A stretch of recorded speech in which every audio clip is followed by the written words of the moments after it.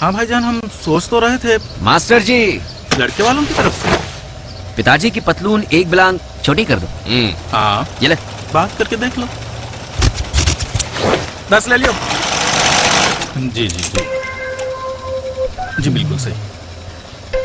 हाँ जी। रमेश सुरेश? जनाब करते क्या है? मास्टर जी पिताजी की पतलून एक बिलांग छोटी कर दो। अच्छा वो भी दर्जी है। बीस ले लिया हाँ जी बिल्कुल बिल्कुल। अबे मास्टर! पिताजी की पतलून एक बिलांग।